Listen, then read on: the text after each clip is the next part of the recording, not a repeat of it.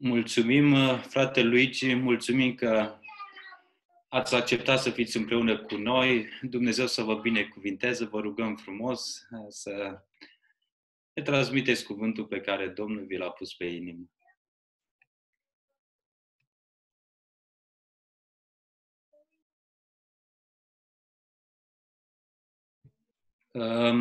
Vă rog să vă deschideți uh, microfonul.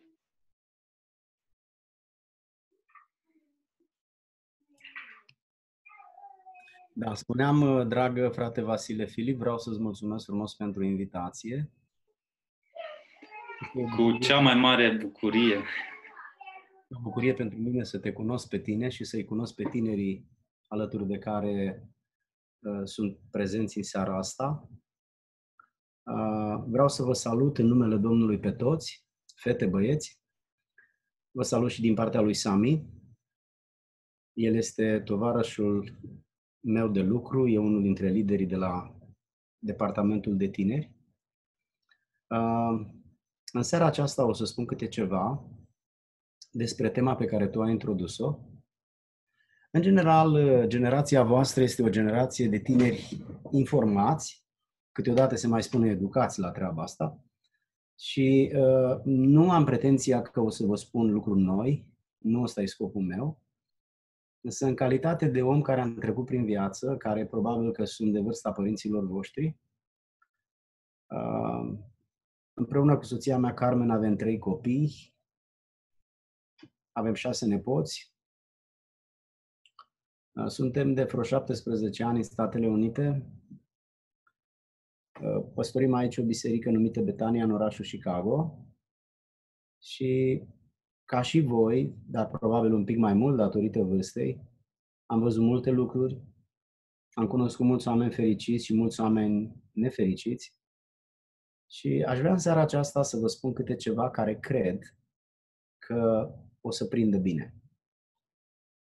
Ceea ce determină viitorul unui om uh, sunt alegerile pe care omul respectiv le face. Tinerețea este timpul marilor alegeri și două dintre cele mai mari alegeri sunt în legătură cu Dumnezeu și cu alegerea tovarășului de viață. Am spus de foarte multe ori lucrul ăsta și o să-l repet și de data asta. Pentru o foarte lungă perioadă de timp, lumea a fost condusă de guvern și de biserică. Apariția industrializării, a tehnologizării și a digitalizării a făcut posibilă apariția unei a treia instituții numită mass media, pe care biserica inițial a respins-o, găsind-o vulgară și indecentă, însă guvernul a acceptat-o și au făcut împreună un parteneriat care durează și astăzi, un parteneriat care de fapt conduce lumea. Dacă l-ar conduce, ar fi bine, însă mă tem că uneori îl exploatează și îl manipulează. Mass media este necesară, însă hermeneutizarea și politicizarea mass media este periculoasă, prin faptul că manipulează și exploatează societatea. În prezent, din ce în ce mai mulți tineri privesc căsătoria cu neîncredere, sub influența mass mediei, percepând-o ca pe o corvoadă sau ca pe o formalitate ce va transforma viața lor de cuplu într-o rutină. Acesta este motivul pentru care tinerii în generația asta se căsătoresc mai târziu decât cei din generațiile trecute. Deasupra există și nesiguranță cu privire la angajamentul și loialitatea partenerului, pentru că ați văzut și ați auzit tot felul de tragedii. Uh, există nesiguranță cu privire la problemele financiare, problema libertății personale după căsătorie, apariția copiilor, dificultatea comunicării și alți factori care, asemenea acestora, pun presiune pe mintea unui tânăr atunci când alege să se căsătorească. Adevărul este că fericirea în viața de familie nu este întâmplătoare și nu este nici obișnuită măcar. Ea este produsă în mod intenționat și disciplinat, cu mult efort și cu mult sacrificiu. Calitatea unei căsătorii este dată de calitatea celor doi soți. Căsătoria nu, fi, nu poate fi mai bună decât sunt ei. Atât de pocăiți vor fi ca familie, cât sunt de pocăiți ca indivizi. Atât de ipocriți vor fi ca familie, cât sunt de ipocriți ca indivizi. În general, să știți că ipocrizia este o caracteristică a oamenilor religioși. Oamenii din lume nu sunt ipocriți, că ei nu-și ascund păcatele, numai noi ni le ascundem și vrem să ne prezentăm mai bun decât suntem.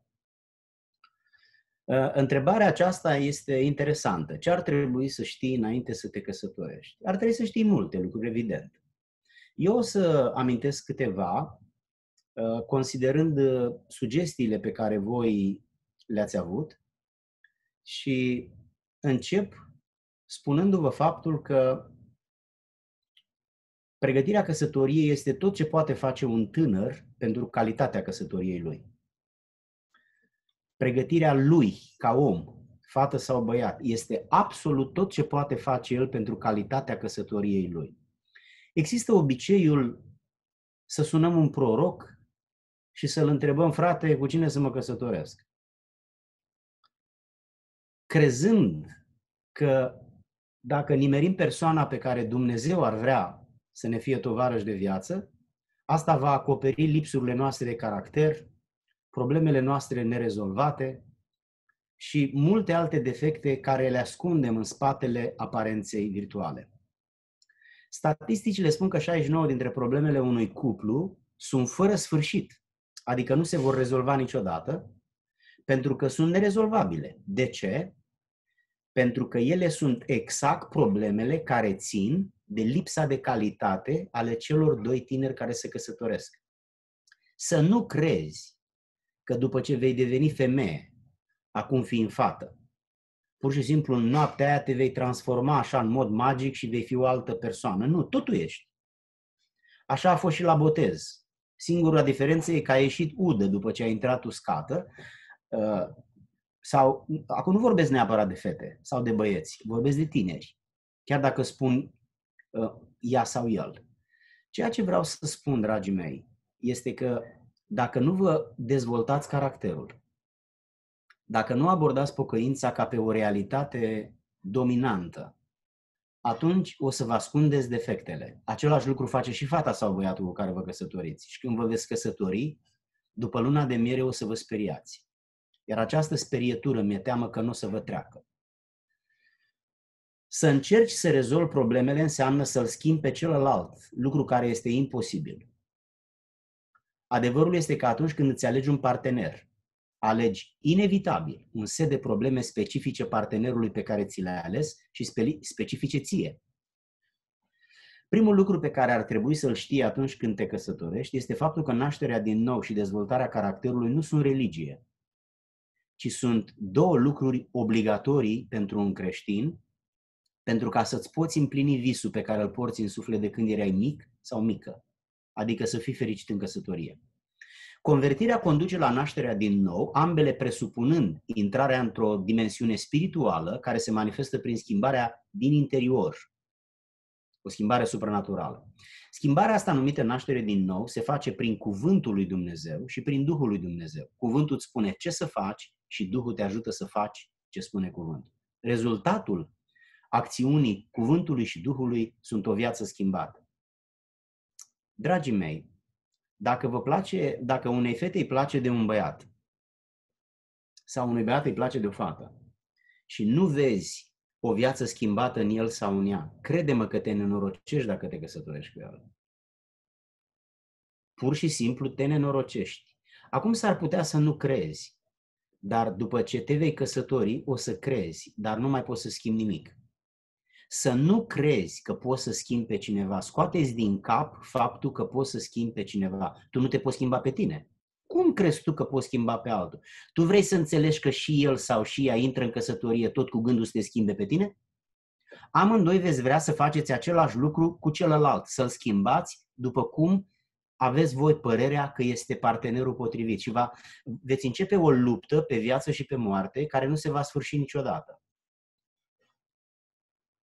Apoi, dezvoltarea caracterului conduce la maturizare și sfințire și acestea se referă la creșterea spirituală până la nivelul asemănării cu Isus Hristos. Pavel spunea să ia Hristos chip în noi, adică să fim ca El.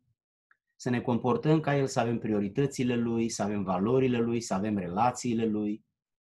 Uh, dintre cele două naturi, una va conduce viața omului. Ori natura spirituală, care e omul cel nou în Hristos, în interior, ori natura materială, adică firea pământească sau temperamentul.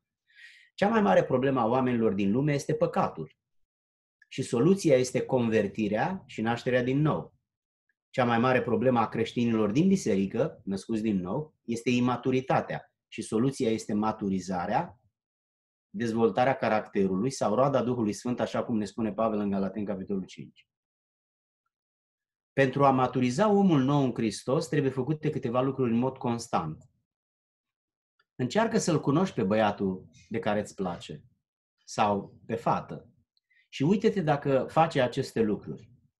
Hrănește omul din lăuntru și înfometează omul din exterior.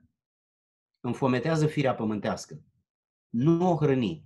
Nu-i da lucruri care le cere, care îi plac, care o dezvoltă, care îi dă putere, energie și o fac dominantă. Înfometează firea pământească. Nu-i da pornografie, nu-i da vulgaritate, nu-i da modă, nu-i da lume, nu-i da glume proaste, nu-i da miștocăreală, ă, nu-i da lucruri care nu vin din Hristos, pentru că ea se va întări. Știi că atunci când n-ai mâncat toată ziua, să zicem o zi de post, ești lipsit de energie. Ai văzut că ți-e greu și să vorbești. Dar după ce mănânci, te simți foarte învigorat și poți să o iei de la început. De ce? Pentru că i-ai dat omului energie, i-ai dat corpului tău energie. Ei, tot la fel se întâmplă că atunci când hrănești firea pământească, în zadar te mai rogi ca Dumnezeu să te ajute să te sfințești. Păi cum să te sfințești cu imagini pornografice în mintea ta? Cum să te sfințești cu experiențe vulgare și păcătoase în viața ta? Cum să te sfințești când ieri sau alalte, sau mă rog, în zilele care au trecut, ai făcut lucruri care ia puterea omului interior și îi dă putere omului exterior. Hrănește omul interior. Adică practică disciplinele spirituale, roagă-te, dar nu ca o corvoadă, ci pur și simplu roagă-te încercând să-L descoperi pe Dumnezeu, să-L găsești pe Dumnezeu, să-L experimentezi pe Dumnezeu. Așa cum te disciplinezi să înveți la școală pentru examenele care le ai în față. Înveți de plăcere? Nu, nu înveți de plăcere. Înveți pentru că trebuie. Știi că trebuie să treci examenul acela pentru ca să promovezi, pentru ca să ajungi ceva în viață, să-ți fie mai ușor. Și uneori stai noaptea și înveți. Ei, vezi, tot la fel trebuie să faci cu rugăciunea. Rugăciunea trebuie, punct. Trebuie, punct. Fă-ți obiceiul să te rogi dimineața. Poți să nu te rogi, dar ești un creștin superficial. Ești mediocru. Nu vei avea energia necesară să pleci de pe loc, iar dacă totuși te vei mișca, vei merge foarte încet. Trebuie neapărat să fii puternic. Înțelege, sunt doi oameni în tine. Unul e în interior și omul duhovnicesc. Și unul e în exterior, e carnea, e temperamentul, e firea pământească. De obicei noi o hrănim pe asta tot sexismul din lumea asta, tot erotismul din lumea asta hrănește firea asta pământească. Și ea devine puternică și ne domină. Iar absența rugăciunii, a citirii Bibliei, a postului, a meditației, a meditării la Cuvântul lui Dumnezeu, absența părtășiei frățești. Și când venim la biserică, suntem tot cu ochii pe fete, pe băieți, pe modă, pe să ne arătăm rochia, ceasul, telefonul, mușchii, biceps și triceps și, sau fundul sau sânii. Astea sunt lucruri de oameni din lume. Sigur că voi le puteți face, dar ce pretenții aveți voi să fiți fericiți în căsătorie și cum vă imaginați voi că Dumnezeu vă binecuvintează doar că veniți la biserică? Știți de ce vă vorbesc direct? Pentru că sunteți importanți. Pentru că trăiți o singură dată. Pentru că știu că vreți să fiți fericiți. Pentru că ar fi îngrozitor să aveți o viață de familie nefericită. Din, din motivul ăsta vă vorbesc direct. Cât pot eu de direct. Nu ca să vă sperii și nici ca să, să vă vorbesc cu superioritate. Nu, nu ăsta e scopul meu. Scopul meu este să vă spun ceva ce o să vă ajute. Asta în situația în care voi o să acceptați ceea ce eu vă spun. Eu mă pot controla doar pe mine. Pe voi nu vă pot controla. Încerc să mă controlez pe mine, făcându-mă eficient pentru voi pe lângă hrănirea omului din interior și înfomătarea omului din exterior, trebuie să-l îngrădești pe omul din interior. Uh, voi știți că personalitatea unui om este formată din temperament și caracter. Voi știți că temperamentul este ADN-ul, zestrea genetică cu care tu te naști, vii în lumea asta și este în mod deosebit de la bunici și de la părinți. Voi știți că temperamentul nu se schimbă niciodată, nici după ce te pocăiești, nici după ce te botezi, nici după ce ești ordinat și nici după ce ajungi șeful cultului. Tot ochi, culoarea ochilor, tot aia va fi, indiferent ce examen vei lua și indiferent ce job vei avea tu când vei deveni adult. Temperamentul nu se schimbă, scumpul meu. Iar tu, ca și temperament, poți să fii coleric, sanguinic, flegmatic, melancolic sau o anumită mixare din toate patru, uh, una fiind dominantă. În afară de temperament este caracterul. Cu caracterul nu te naști, caracterul se formează prin influența părinților, asta se numește mediul de hrănire. Familia, biserica, școala, uh, online uh, și, în general, contextul care te influențează pe tine prin sfaturi, prin imagini, prin tot felul de lucruri. E bine, ăsta ești tu, zestrea nativă cu care ai venit în lume. Poate, dacă ești coleric, ești mai repezit, te enervezi repede, strece repede, ești foarte violent. Dacă ești sanguinic, ești foarte politicos, ești genul ăla de salesman, tot timpul știi să vorbești, cucerești pe toată lumea când îți deschizi gura, dar după cum uh, colericii au tendința să fie violenți, sanguinicii au tendința să fie ipocriți.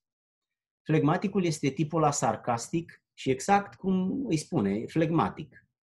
El cam miștocărește pe toată lumea, e stabil emoțional, dar are tendința de introvertire. Melancolicul e un tip mai slab, e extrem de introvertit, vorbește foarte puțin, nu are curaj, nu are îndrăzneală, nu are încredere în el dar nu sunt temperamente bune sau rele. Toate sunt la fel de bune, la fel de rele, ele sunt doar diferite. Uh, ei bine, temperamentul acesta însă trebuie îngrădit cu caracterul tău. Asta înseamnă că tu trebuie să înveți în viața asta umană ce trebuie să faci. Asta înseamnă că tu, caracterul tău trebuie să devină un, un gard, un zid din beton în jurul temperamentului tău. Temperamentul nu are minte. Temperamentul nu se modelează, dar caracterul se poate, modela, se poate modela și îl poți pune în jurul temperamentului tău pentru ca să blocheze manifestările firești și pentru ca să permită manifestărilor duhovnicești. Asta se numește îngrădirea omului firesc. Uh, n-aș vrea să insist asupra fiecărui lucru pe care îl spun, deși fiecare se poate constitui într-o predică, însă vreau să continui și în al doilea rând să vă spun că atunci când te pregătești pentru căsătorie, ar trebui să știi că pregătirea pentru căsătorie nu se face într-o zi, ci se face în fiecare zi. Nu se face într-o lună, ci se face în fiecare lună. Nu se face într-un an, ci se face în fiecare an. Cine vrea să învețe într-o noapte și să ia examenul, cel mai probabil că nu-l va lua. Sau dacă îl va lua, a doua zi nu va mai ține minte nimic, sau peste o săptămână. Uh, noi trebuie să ne pregătim pentru căsătorie după ce trecem vârsta de 12, 13, 14 ani. Pentru că o fată, în alte culturi, la vârsta de 12 ani se căsătorește. Ea poate să procreeze la vârsta aia. Un băiat nu prea la 12 ani, dar pe la 14-15 poate să facă treaba asta. Vorbesc acum din punct de vedere hormonal, din punct de vedere sexual. Dar, dacă nu începeți de la vârsta aia să vă modelați caracterul, o să fiți niște șmecherași care vă ascundeți și fetele trebuie să știe că orice băiat poate să pară cum vrea fata până la nuntă. După aceea nu mai are rost, că nimeni nu aruncă momeală la un pește pe care l-a prins și este în, în, în cutia aia, în plasa aia unde se țin peștii prinși, nu? Nu mai aruncați momeală la pește, aruncați momeală numai la peștele neprins. E bine, Fetele care nu se căsătoresc cu cine trebuie, după nuntă sunt șocate și spune, dar ăsta nu e băiatul cu care m-am căsătorit eu, că înainte de căsătorie mi-aducea flori, vorbea frumos, era politicos, ă, nu, nu era rău cu părinții mei, nu... În sfârșit, pot să dau multe exemple, dar nu-i nevoie. Știi ce se întâmplă fetelor? Băieții se pot preface. Nu se prefac ei așa de bine ca voi, dar se prefac atunci când sunt în perioada prieteniei, pentru că un băiat poate să pară cum vrei tu. El vede ce-ți place. Dacă îți place să-ți aducă flori, el vede, înțelege treaba asta și ți aduce. Să nu crezi că o va face după căsătorie. Asta nu înseamnă neapărat că nu o va face. Dar ce vreau să spun că dacă el nu e un om de caracter, nu o să fie un om de caracter. Dacă el nu și-a dezvoltat caracterul, nu o să aibă caracter. Ci pur și simplu o să fie un tip mofturos, nervos, o să încerce să te domine, o să încerce să te controleze, o să încerce să devină violent, să te amenințe, o să încerce să vorbească urât de părinții tăi, o să-i promoveze pe ai lui, fratele lui o să fie bun, dar altul o să fie prost. Și exemplele pot continua. Dar sigur, la fel poate să fie, dragi băieți, cu fetele și ele se prefac și de obicei uh, ele se prefac mai bine decât noi, pentru că ele au un, un, un simț pe care băieții nu l-au, numit intuiție. Și intuiția le ajută pe ele să miroasă ce vrei tu să-i ascunzi. O să vedeți asta după ce vă căsătoriți. Acum doar bănuiți treaba asta, că așa am fost toți.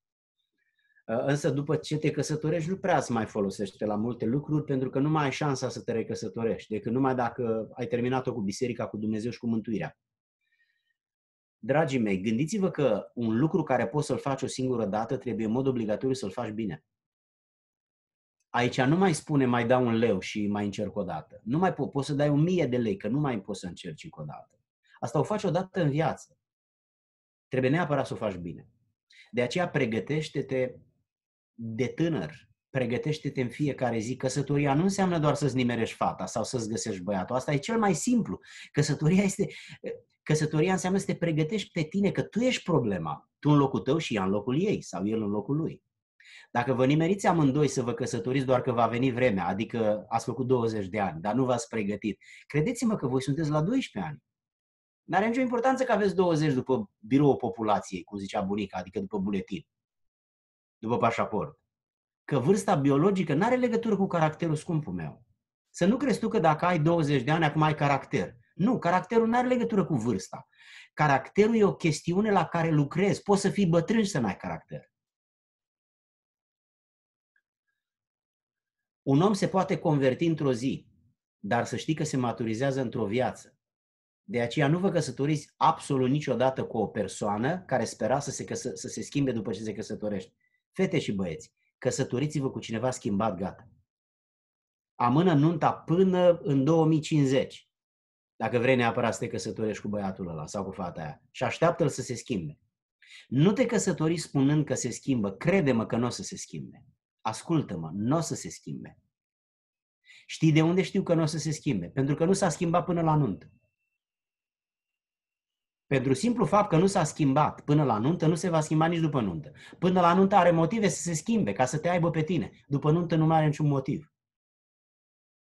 Că după nuntă știe că nu mai ai încotro, mai ales dacă e vorba de fată. Dar și cu, fe- și cu băieții la fel. Că se pune cu gura pe tine și pur și simplu te bagă în pământ.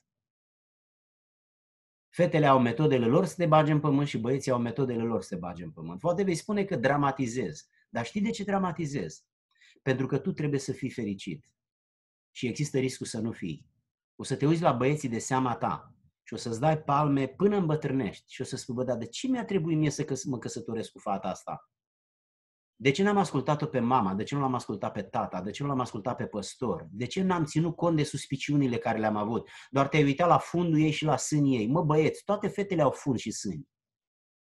Toate fetele au buze, ochi și nas și urechi și toate au, credeți-mă. Dar minte, uitați-vă băieți după minte. Că asta face diferența, nu fundul, nu sânii.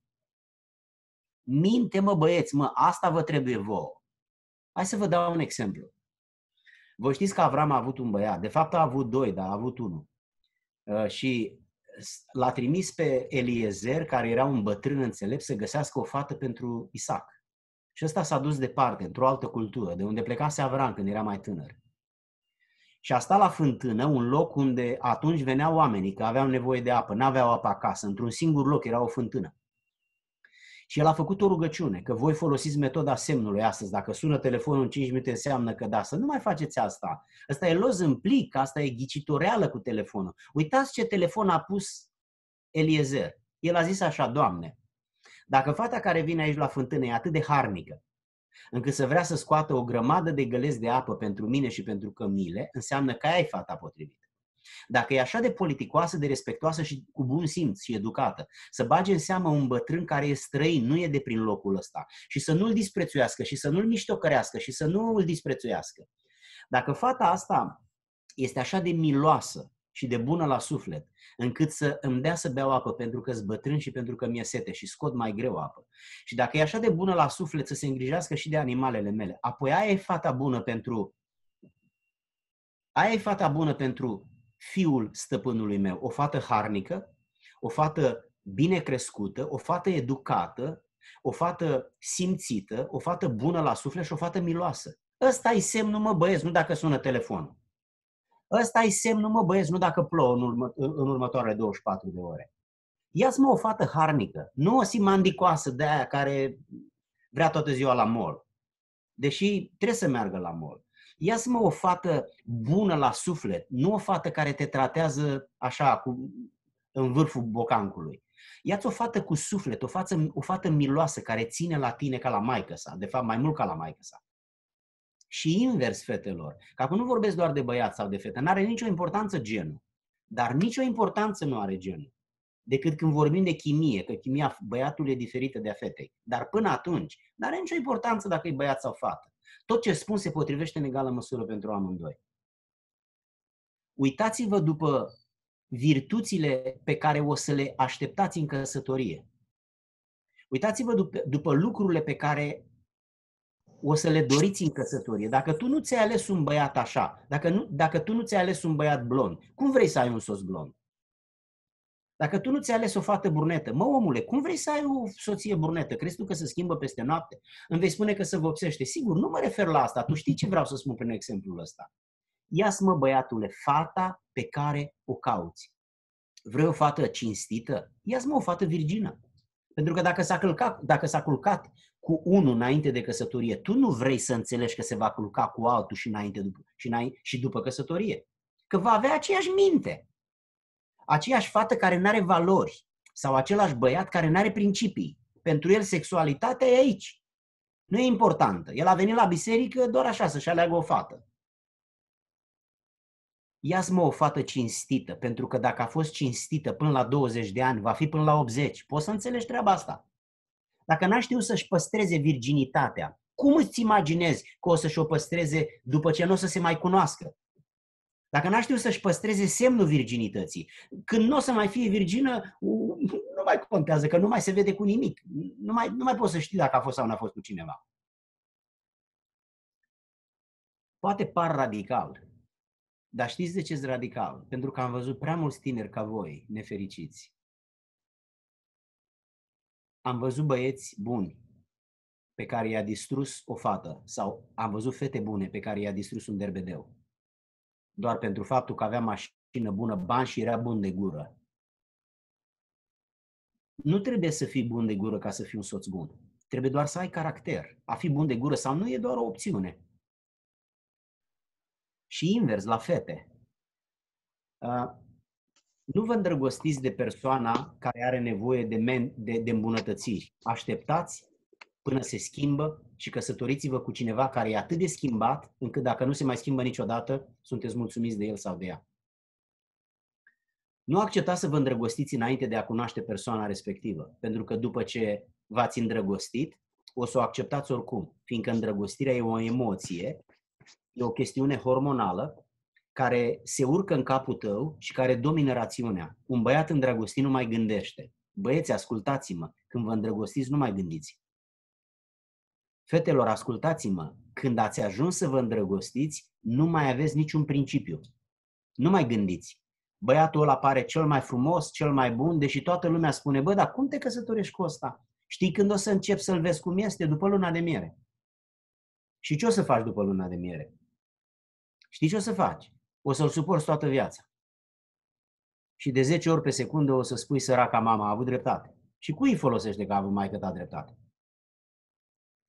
Sunt trei faze ale căsătoriei, deși nu sunteți voi căsătoriți. Este îndrăgostirea, este revenirea la realitate și este maturizarea și manifestarea iubirii. Când ești îndrăgostit, este acțiunea unui hormon, este o pasiune, revii la realitate după ce se consumă actul intim. Specialiștii psihologii spun că în maxim 2 ani nu mai rămâne nimic din fluturia pe care e ai acum în stomac, numiți îndrăgostire sau pasiune. Îndrăgostirea e temporară și are rolul să te împingă în căsătorie. Iar manifestarea dragostei Dezvoltarea caracterului e o chestiune la care tu lucrezi transpirat de când te trezești până te culci, împreună cu Dumnezeu, împreună cu părinții tăi, împreună cu păstorul tău, cu mentorii tăi, cu liderii de tineret, cu prietenii tăi, cu fetele, cu băieții din anturajul tău. Fac aici o paranteză și sper să mă înțelegeți bine, deși există riscul să nu mă înțelegeți bine, dar mă fac vulnerabil de dragul vostru. Nu alergați după proroci când vreți să vă căsătoriți. Nu alergați după proroci, alergați după Dumnezeu. Dacă un proroc te sună pe tine la inițiativa lui și spune Domnul la inițiativa lui, mi-a zis să îți spun așa și așa, în prorocia aia să aveți încredere, în mare măsură. Dar când tu te duci la proroc, la vârsta asta, prorocul știe că ce trebuie. Poți să găsești un om al lui Dumnezeu și să-ți spună un mesaj din partea lui Dumnezeu. Însă eu cunosc foarte mulți tineri pe care un proroc sau doi le-a spus așa vorbește Domnul și nu Domnul a vorbit. Mai ales când suni un proroc pe care nu-l cunoști, doar pentru că ți-a spus vărăto sau unchito că a auzit și el de la vărăso sau unchiso. Îmi veți spune, frate Luigi, tu nu crezi în proroci? Nu, să nu-mi pui întrebarea asta, pentru că îți spun înainte să mă întreb. Sigur că eu cred, eu sunt pastor penticostal, dar am întâlnit foarte mulți oameni nenorociți de sfaturile unor proroci care, la care tu te-ai dus și el trebuia să-ți spună ceva. Că doar nu era să spună, păi Domnul nu mi-a vorbit. Eu te sfătuiesc să-ți dezvolți caracterul și să te apropii de Dumnezeu și Dumnezeu să-ți călăuzească mintea te sfătuiesc să-ți respecti părinții atât de mult încât să consideri și sfatul lor, că ei deja s-au, ei s-au, mai, ei s-au căsătorit odată, ei au experiență de oameni căsătoriți. Te sfătuiesc să-i cer părerea și păstorului tău. Te sfătuiesc să-ți cercetezi fata, să fii cu ochii pe ea sau pe băiat, să vezi cum se comportă. E respectoasă sau nu? Dacă nu e cu alții, nu va fi nici cu tine. Dacă e bârfitor sau răutocios sau brutal sau violent, să știi că cu tine va fi așa. Nu vreau să insist asupra acestui lucru.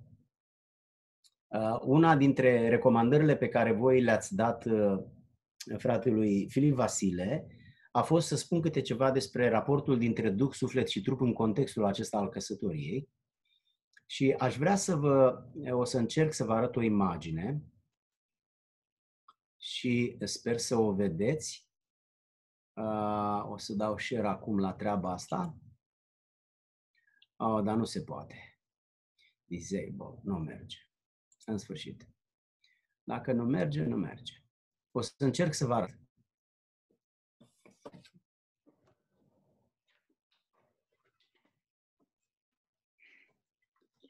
Oare nu merge să mi-o trimiteți mie și să dau eu share? E prea târziu acum și nu e foarte important lucrul ăsta pentru că pot să desenez.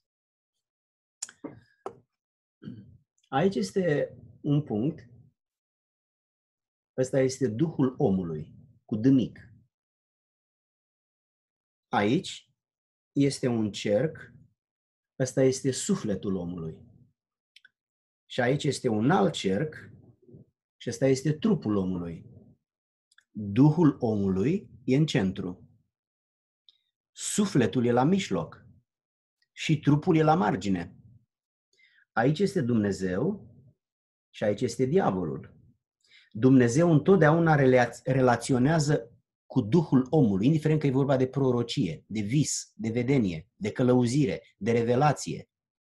Indiferent, Duhul lui Dumnezeu, Dumnezeu, întotdeauna în om, în complexitatea omului, în trinitatea omului, Duh, Suflet și Trup, întotdeauna, fără excepție, acționează în Duhul omului. Asta înseamnă cuget, conștiință, Duh cu dâmic. Întotdeauna Dumnezeu vine în Duh și are interesul să ajungă în suflet. Ce este sufletul? Sufletul înseamnă sentimente, rațiune și voință. Dumnezeu vrea să sfințească sentimentele tale, vrea să sfințească rațiunea ta și vrea să sfințească voința ta. Ce înseamnă un om pocăit? Un om cu gânduri sfinte un om cu emoții sfinte și un om cu voință care se poate impune. De azi înainte nu mai fumez, gata, am terminat.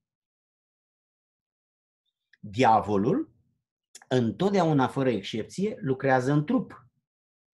în instinctele primare, în poftă, în patimă. Și el vrea să ajungă tot în suflet.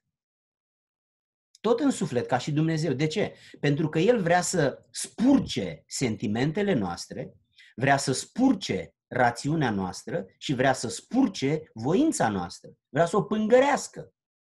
Vrea să... Cum e un om nepocăit? Are sentimente mizerabile, murdare. Cum este rațiunea unui om nepocăit? Care sunt gândurile lui? Gândurile lui sunt murdare. Și cum e voința unui om pocăit? Păi spune, nu pot să mă las de țigări, nu pot să mă las de pornografie, nu pot să mă las de alcool. Băieți și fete, sufletul omului este ținta lui Dumnezeu și ținta diavolului.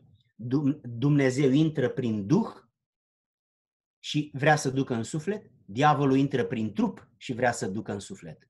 Ambii vor să cucerească sufletul. Dumnezeu să sfințească sufletul, diavolul să spurce sufletul. Fete și băieți, dacă tu vrei să te căsătorești cu un băiat care are sentimente murdare, cum crezi tu că ăla ai născut din nou? Ce importanță are florile care ți le aduce, mașina cu care te plimbă, banii pe care îi are, mușchii pe care îi etalează sau faptul că e bun de gură? Sau ce importanță are, ce importanță are dragul meu ă, tânăr dacă fata are un fund nu știu cum, niște sân nu știu cum și îți place ție care ochii așa și buzele așa?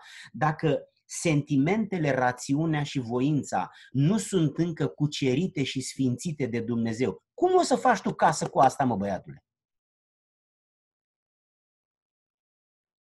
Cum o să-ți fie ție asta o soție fidelă și credincioasă și o să tragă cu casa ta?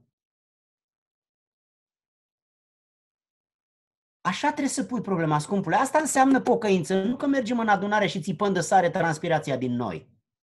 Și că venim cu Biblia la subțioară. Nu spun că nu e important să ne rugăm. Dar la ce îți folosește o rugăciune care nu te schimbă? O rugăciune care nu te conduce la pocăință și nu te, nu te scapă de patimile pe care le ai. Spune-mi, la ce îți folosește? Băieți și fete, uitați-vă la sentimentele persoanei de care vă îndrăgostiți. Uitați-vă la rațiunea ei, la discernământul ei. Uitați-vă la, la gândurile ei. Dacă umblă cu bancuri, umblă cu prostii, umblă cu șmecherel, umblă cu airel, aia, aia nu e o minte sfântă. Voi ați citit despre Isus ce gânduri a avut în Scriptură. Voi ați citit despre Apostolul Pavel ce gânduri a avut în Scriptură, despre Ioan Botezătorul, despre Sfinții lui Dumnezeu. Ce, ce, vrei, ce ai tu de gând să faci cu băiatul ăsta? Business sau familie? Dacă vrei să faci business, ar putea să reușești. Dar familie, cu un băiat care are sentimente, rațiune și voință pângărită, vulgară și murdară, nu o să faci mă fată. Poți să postești de 8 ori pe săptămână, nu de 7 ori, că nu o să faci nimic. Și poți să te duci la toți prorocii și poți să te consilieze toți păstorii din lume. Pentru că ți-ai luat o, un băiat care a fost neschimbat și va rămâne neschimbat. Căsătoria cu tine nu-l schimbă. Nu ești tu Dumnezeu, nu ești tu Duhul Sfânt să schimbi pe cineva.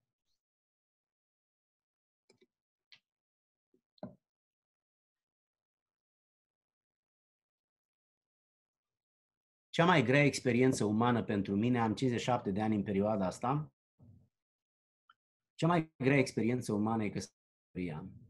Nu e nimic mai greu decât să fii căsătorit, dar nu e nimic mai frumos decât să fii căsătorit. Și amândouă creează căsătoria. Frumusețe împreună cu dificultate. Pentru că te vei căsători cu cineva care e diferit de tine. Și acel cineva ar vrea să se impună asupra ta ca să faci cum vrea el sau ea. La rândul tău și tu vrei același lucru și începe lupta. Începe competiția. În loc de completare, începe competiția. Și fiecare cu armele lui. Unul cu gura, unul cu forța, unul cu banii, unul cu șmecheria, unul cu minciuna, unul cu prostiile. Fiecare va încerca să-l domine pe celălalt. De ce? Pentru că nu există caracter, nu e frică de Dumnezeu. Nu-s gânduri sfințite, nu sentimente sfințite. Fete și băieți, nu vă nenorociți. Că asta, nenorocirea asta ține o viață. Ține o viață. Căsătoriți-vă cu cineva care este băiatul din visul tău, care e fata din visul tău, dar nu, nu, te, nu fi dominat de cum arată, deși e foarte important cum arată. Dar nu te opri la treaba asta. Treci dincolo de cum arată. Pentru că ceea ce tu cauți e dincolo de ce se vede. Tu cauți tandrețe, sinceritate, cauți dreptate, adevăr, cauți disponibilitate, cauți o, o viață care te va ține așa, ca pe o prințesă sau ca pe un prinț. Mă, fată, nu orice băiat o să facă asta cu tine. Deși toți îți promit același lucru, că vor să ajungă acolo și tu știi unde vor să ajungă. Dacă ești prea mică și n-ai minte, sau invers, dacă ești prea mic și n-ai minte, nu înțelegi lucrurile astea, căsătorește-te la 40 de ani sau la 50. Dar așteaptă până când ai suficientă minte să înțelegi ce e aia căsătorie. Căsătorie înseamnă să-ți găsești pe cineva care ți se potrivește, scumpul meu. Asta înseamnă. Și pentru asta, tu trebuie să fii o persoană care meriți persoana aia pe care o cauți. Că toți vrem cea mai bună fată, dar cea mai bună fată vrea cel mai bun băiat, nu pe tine. Înțelegi? Și invers. Vrea cea mai bun băiat, dar cel mai bun băiat vrea cea mai bună fată, nu pe tine. Nu poți să-ți alegi decât pe cineva ca tine. Că cine nu-i ca tine, vrea pe cine vrea ca el, nu ca tine. Al treilea lucru pe care vreau să vi-l spun, uh, ok. Al treilea lucru pe care vreau să vi-l spun este să știți că a fi îndrăgostit nu e suficient pentru a avea o căsătorie. A fi îndrăgostit nu e suficient pentru a avea o căsătorie fericită. Știința spune că îndrăgostirea, adică dragostea la prima vedere, se realizează în 90 de secunde. Între 90 de secunde și 4 minute. Atâta ți să te îndrăgostești. Poți să crezi? Între un minut jumate și 4 minute. Tu vrei să-mi spui că decizia de căsătorie o faci cu un semi-necunoscut sau uneori chiar cu un necunoscut sau cu o necunoscută între un minut jumate și patru minute, tu ești serios? Tu așa te pregătești de căsătorie, într-un minut jumate? Tu nu te îndrăgostești de fata care este serioasă, tu te îndrăgostești de fata spre care te împing hormonii tăi. Între hormonii pe care noi avem există unul care are rolul să te căsătorească. Ăla se activează și se dezactivează după cel mult 2 ani. Ce faci, mă, băiatule, după 2 ani? Că la se dezactivează. Ia-ți cărți și citește ca să vezi că e adevărat. Vorbește cu părinții tăi sau cu alții care, mai, care sunt mai mari ca tine cu 10-20 de ani și sunt căsătoriți și o să vezi că ei îți spun următorul lucru. Îndrăgostirea nu ține mult, aia se evaporă. Rolul îndrăgostirii, care este acțiunea unui hormon din sistemul tău endocrin, Rolul îndrăgostirii este să te împingă în căsătorie și după aceea el se, el se dezactivează ca și hormonul de creștere în înălțime. Că dacă nu ai trece până tavan, n-ai avea loc în casă, dacă nu s-ar dezactiva hormonul ăla. E așa se dezactivează hormonul ăsta de îndrăgostire. De aceea nu te baza pe treaba asta prea mult. Pentru că de multe ori te îndrăgostești de cineva de care îți place pe din afară, dar în interior e o catastrofă de fată sau de băiat. De aceea nu te îndrăgosti de persoana pe care nu o cunoști. Nu accepta. Oprește sentimentele tale. Stai departe de ea, mai întâi interesează-te, studiază-o. Lasă cum se vede, că apoi au 20 de secunde. Studiază interiorul, că pentru aia trebuie 20 de ani și nici 200 nu ți ajung. Îndrăgostirea înseamnă pasiune. Ea este o experiență emoțională cu caracter obsesiv. Însă emoțiile se schimbă, dragul meu, se schimbă de la o secundă la alta. Astăzi îți place de cineva, mâine nu mai poți suferi. Deși pasiunea e un lucru pozitiv, e un lucru frumos, ea e doar o stare de spirit. Este instabilă, e fluctuantă, nu vă bazați pe sentimente. Fete și băieți, vă rog, țineți minte măcar un lucru de la mine. Nu vă bazați pe sentimente. Nu alegeți mă cu inima, alegeți cu mintea. Căsătoria e cea mai importantă alegere din viață după, după mântuire. Alege cu mintea. Inima nu ți-a fost dată să faci alegeri. Ți-a fost dată să pompeze sânge. Iar dacă te referi din punct de vedere biblic, ți-a fost dată să simți. Dar nu te căsători pe bază de simțăminte. Căsătorește-te pe bază de alegere conștientă. E fata pe care o cauți, da sau nu? că la altar îmi promiți că o să o iubești până la moarte și la urmă vii și îmi spui că nu vă mai potriviți la caracter. Știi ce trebuie? Vorba lui Pavel, 40 fără una. Aia trebuie. Păi cum acum un an sau doi era cea mai frumoasă dintre fete și acum nu vă mai potriviți la caracter? Cine va, va, de, va dezaxa de nu vă mai potriviți la caracter? Se înseamnă că nu v-ați potrivit niciodată, dar tu n-ai știut. Pentru că hormonul îndrăgostirii te-a făcut să vezi puțin, slab. Îndrăgostirea, pasiunea asta izbucnește instantaneu și se oprește instantaneu. Ea e centrată pe atracție fizică, folosește simțurile, este obsedantă, e dominantă și îți controlează emoțiile. Acțiunile și vorbele nu îi sunt caracteristice, din potrivă, sunt opuse principiilor pe care le-a avut până atunci. Trebuie neapărat să gândești cu mintea, trebuie neapărat să te consulți cu părinții tăi, trebuie neapărat să te consulți cu Dumnezeu. Ai nevoie de trei confirmări. Confirmarea conștiinței, confirmarea părinților și confirmarea lui Dumnezeu. Sau invers, confirmarea lui Dumnezeu a conștiinței tale și a părinților. Vei spune, nu mă interesează de tata și de mama. Nu zici așa că tu mâine, poi mine vei fi tată și mamă. Și când o să ajungi la 50 de ani, o să ai experiență, nu ca la 20. Mai ales că ai vreo 30 de căsătorie. Și când se va face chestia aia pe care o ții în brațe și are nevoie doar să bea lapte și să plângă, se va face de 18-20 de ani și va vrea să se căsătorească, sigur că tu te vei aștepta să-ți ceară părerea, că te price mai bine decât el. Nu vrei să pui puțin problema și în felul ăsta? În sfârșit, o să trec mai departe, să mai spun două, trei vorbe înainte să mă opresc. Ar trebui să verifici dacă îndrăgostirea e dragoste. Băieți și fete, îndrăgostirea nu-i dragoste. Puteți să înțelegeți asta? Îndrăgostirea e una și este acțiunea unui hormon. Tu nu alegi nimic. Doar ți-a cășunat. Iar dragostea este o alegere. Aia nu-ți cășună. Am să-ți dau un argument. Hristos a spus să-ți iubești dușmanii. Ai simțit vreodată să-ți iubești dușmanii sau ai simțit altceva pentru ei, opusul? Fii sincer, opusul simțim, nu să iubim. Dar cum își permite Hristos să spună iubește-ți dușmanii dacă iubirea e un sentiment? Cine ar putea să-și iubească dușmanii dacă iubirea n-ar fi o alegere? Prietenul meu drag, dragostea este o alegere. După ce te-ai căsătorit, poți să alegi să-ți iubești soția când ea nu merită.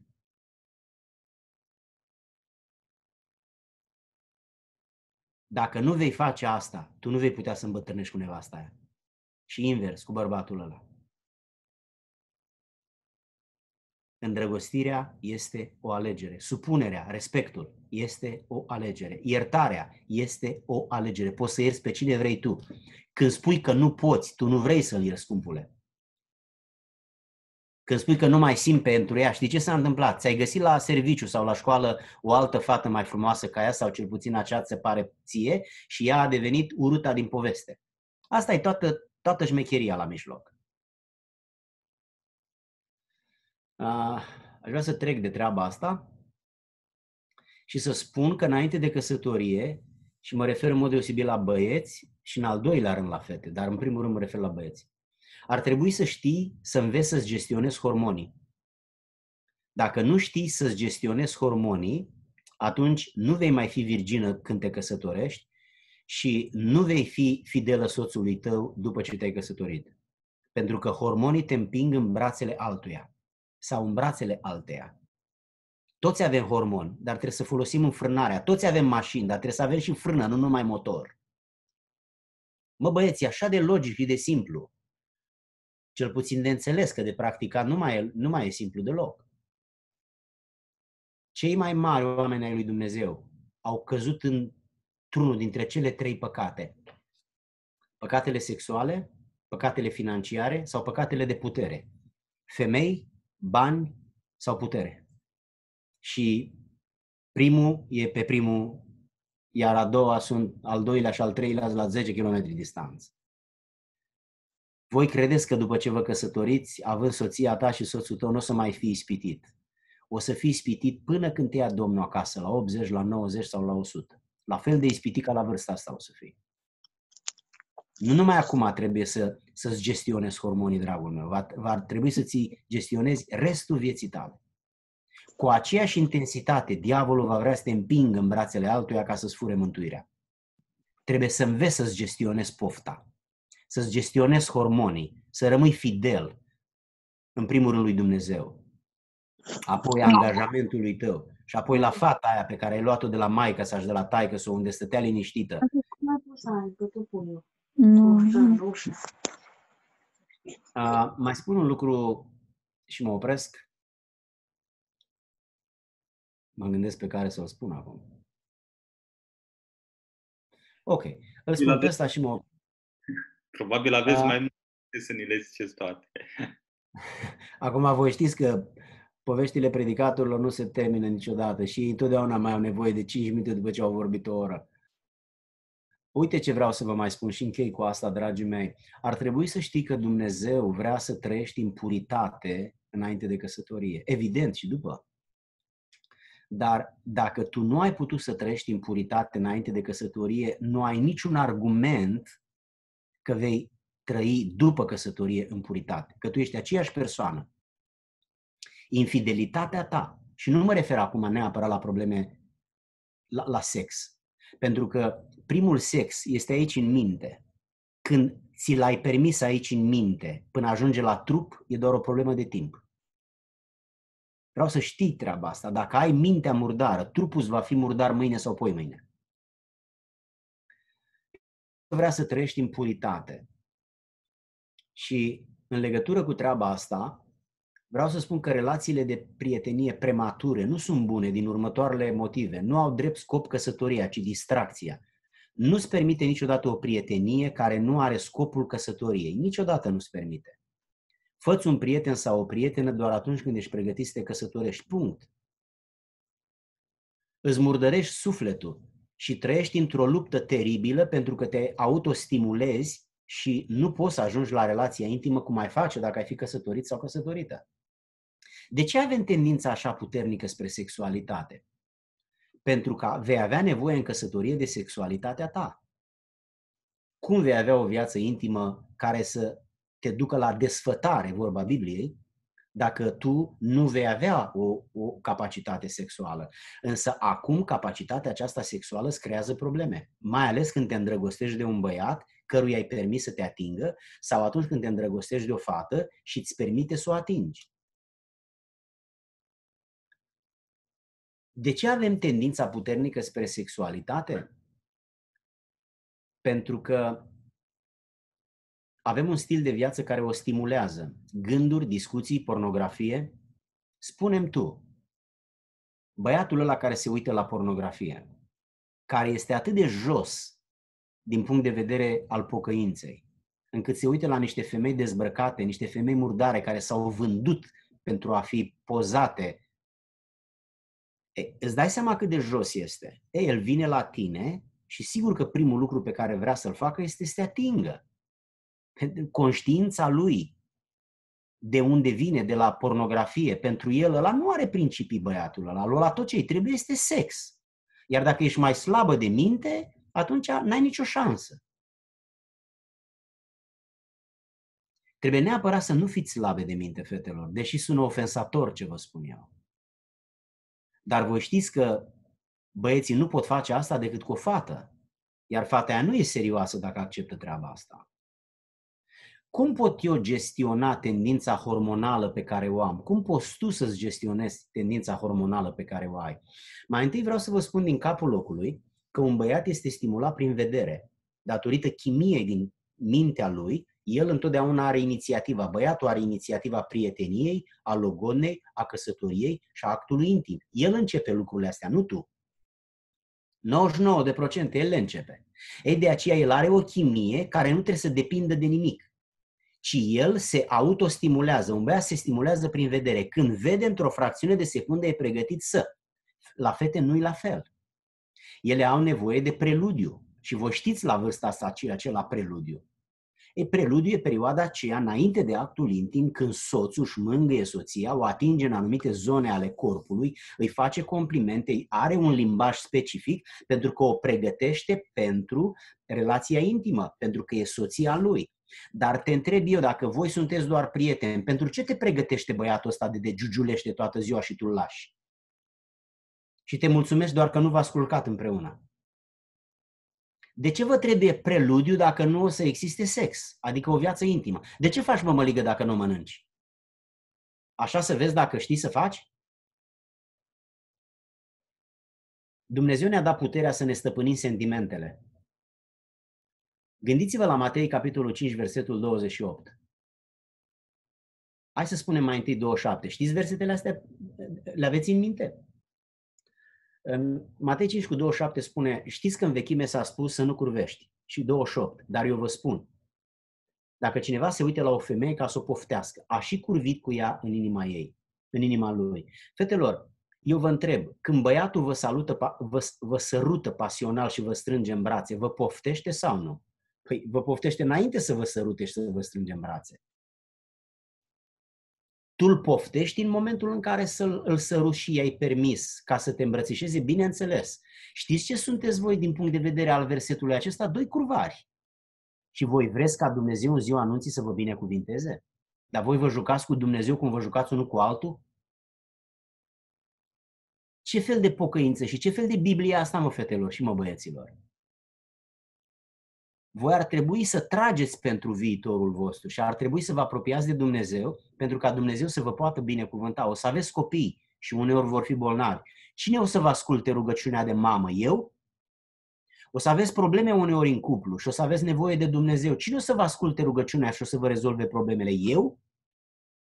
De ce vi-l faceți pe Dumnezeu dușman pentru o emoție, pentru o pupătură și pentru o îmbrățișare? Poate chiar pentru o partidă de sex. De ce? Bătălia pierdută e la nivelul minții, nu la nivelul trupului.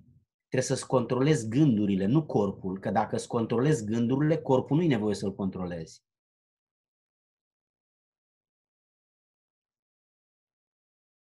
Închei spunându-vă că un lucru pe care nu, nu-l puteți contesta, deși este un lucru foarte aspru ce vă spun și probabil că se încadrează în tot ce am spus în seara asta pentru voi.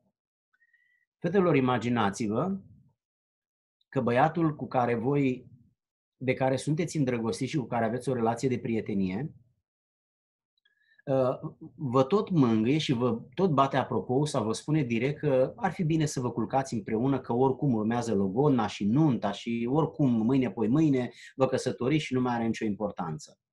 Dar uite, uite ce întrebare îți spun ție. Cât de pocăit e băiatul ăsta care îți cere treaba asta? Tu, tu, cu, tu cu un băiat ca ăsta vrei să te căsătorești. Lasă-mă să-ți mai pun o întrebare. Dacă el și-a permis să facă asta cu tine înainte de căsătorie, când nu erai soția lui, tu nu te gândești că după ce trece luna de miere și se obișnuiește cu tine și va avea o colegă frumoasă la serviciu, va face același lucru cu ea? Pentru că dacă nu i-a fost frică de Dumnezeu să, te, să se culce cu tine înainte de căsătorie, cum îți închipui tu că este frică de Dumnezeu să se culce cu blonda aia frumoasă care e colega lui. Fii sinceră, răspundem la întrebarea asta. Ce îmi răspunzi? Sau invers, fata care îți permite să o săruți și să aveți, să vă culcați împreună, tu nu te-ai gândit, mă, băiatule, dincolo de faptul că îți place ce faci acum. Nu te-ai gândit că după ce trece o lună, două, un an, doi de căsătorie și se obișnuiește cu tine, are un șef la serviciu care arată bine și care îi oferă oportunități materiale. Tu nu te-ai gândit că e tot fata aia care a fost slabă cu tine și tot slab va fi și cu șeful? Nu te-ai gândit la lucrul ăsta? De ce mergi la pastor să spui că ai fost înșelat când primul cu care ea l-a înșelat pe Dumnezeu a fost cu tine? Și tu ai crezut că tu ești singurul cu care poate să înșele ea. Nu, ea înșeală cu oricine are interes. Să țineți minte, un băiat ca să aibă o relație intimă are nevoie de un loc, o fată are nevoie de un motiv. Băieți, țineți minte treaba asta. Un băiat are nevoie doar de un loc, o fată are nevoie de un motiv. Iar motivul de dinaintea căsătoriei a fost să te prindă pe tine și să se însoare, să se mărite cu tine. Iar după căsătorie, cu șeful, va avea alt motiv. Este adevărat că sunt puțin extremist în ceea ce spun, dar nu mult. Și dacă lucrul ăsta se întâmplă cu unul sau cu doi dintre voi, o să mi-ar fi părut rău să nu vă spun lucrurile astea. Și mă bucur mult că am avut ocazia să vi le spun pentru ca să le știți. Iar ce o să alegeți voi să faceți cu viața voastră este doar problema voastră. În 5 minute, 10, 15 de mine scăpați și probabil că nu o să ne mai vedem niciodată. Să vreau să vă spun că cu multă responsabilitate v-am spus cuvintele astea. Nu v-am vorbit deloc de sus, nu v-am vorbit deloc cu superioritate, n-am vrut să vă cred niște bebelași și să vă prosesc cu duritățile mele, v-am tratat ca pe fiicele mele și ca pe băieții mei. Vreau neapărat, pentru că aveți doar o singură șansă, vreau neapărat să fiți fericiți. Vreau să fiți lângă cineva care vă merită. Vreau să fiți lângă cineva care o să vă respecte și o să vă iubească. Dar pentru asta trebuie să găsiți persoana aia, că nu oricine poate să facă lucrul ăsta. Toți vă vor promite, însă unul se va ține de cuvânt sau una. O să-l nimerești pe ăla, o să o nimerești pe aia. Mă rog lui Dumnezeu să aveți puterea să vă apropiați de El, să-L țineți pe El de mână când faceți alegerea, să vă consultați părinții și să țineți într-o anumită măsură, cât puteți voi de mult, cont de opinia lor și Dumnezeu să vă dea fericirea aceasta de a avea lângă voi pe cineva care vă merită și pe care îl meritați. Să aveți familii puternice, să vă creșteți copiii și să vă bucurați de viață. Și asta depinde doar de voi. E o mare responsabilitate. Pentru asta trebuie să vă dezvoltați caracterul. Asta spuneam în introducere. Dezvoltați-vă caracterul și alegeți pe cineva care are un caracter dezvoltat. N-așteptați să se schimbe. Luați pe cineva în căsătorie schimbat sau schimbată, gata. Vă mulțumesc pentru răbdarea voastră. Dumnezeu să vă binecuvinteze. Mulțumim, frate Luigi, mulțumim și Domnului. Știți, când uh, mesajul este de actualitate, sunt și multe întrebări. Au ajuns la mine în jur de 10 întrebări, vi le-am scris pe WhatsApp. Unele sunt personale, sunt uh, nu știu dacă puteți răspunde. Uh, răspundeți la care considerați că este necesar și se poate da un răspuns. Știu că întrebările personale uh, necesită mai multe informații decât uh, ceea ce s-a spus, dar dumneavoastră cred că aveți înțelepciune necesară. Acum nu știu, preferați să dau, să cântăm o cântare și apoi să... Ok, rog grupul de fete de la Dobric să stea înaintea Domnului să cânte o cântare între timp, fratele Luigi se va uita peste întrebările pe care i le-am trimis și pe care voi ni le-ați trimis. Vreau să mă apropii de tine, să mă apropii mai mult. Vreau să mă ții tu de mână, cu tine viață să lupt. Vreau să mă înveți ce iubirea, să mă înveți cum să iert. Vreau să găsesc fericirea, Doamne, te rog să mă ascult. Vreau ca să stau lângă tine, așa să fie mereu și despărțiți niciodată, să nu fim Domnul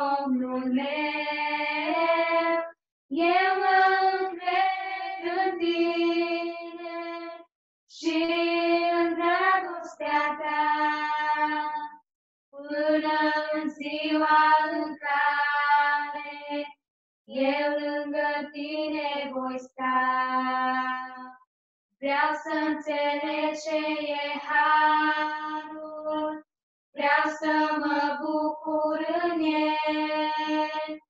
inima fie altarul, unde să te întâlnesc.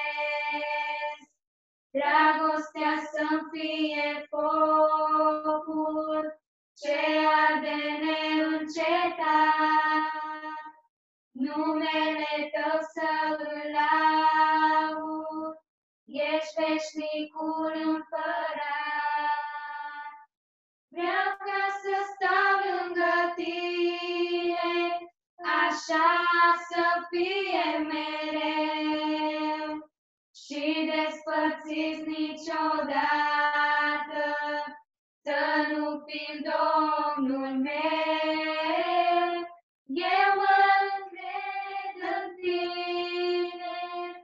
Și în dragostea ta, până în ziua în care eu lângă tine voi sta. Vreau ca să stau lângă tine, așa să fie mereu. Și despărțiți niciodată, să nu fim Domnul meu. Eu mă încred în tine și în dragostea ta, până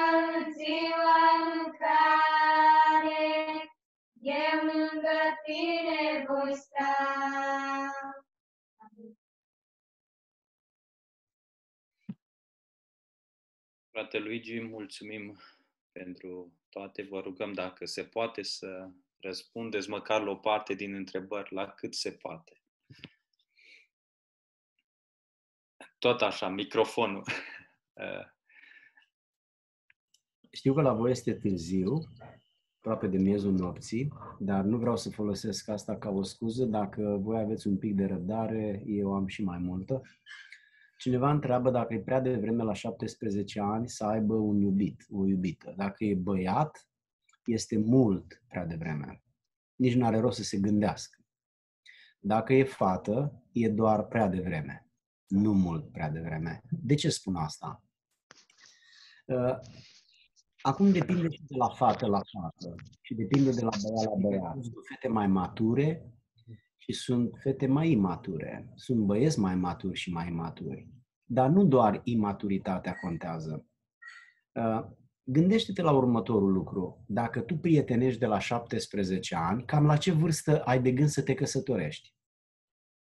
19? Hai să zicem 19.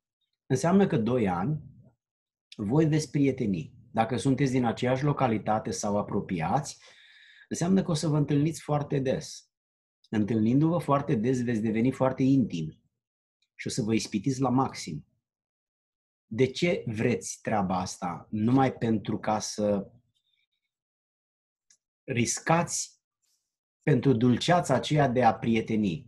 Părerea mea personală este că la 17 ani este prea devreme să prietenești. Eu vă recomand să începeți să prieteniți atunci când aveți de gând să vă căsătoriți. Gândiți-vă că pentru a te căsători trebuie aproximativ să cam termini cu școala, să ai ceva bani puși deoparte, să nu vorbesc în mod deosebit despre băiat, să vă gândiți că trebuie să stați undeva și foarte probabil că nu o să mai stați cu părinții.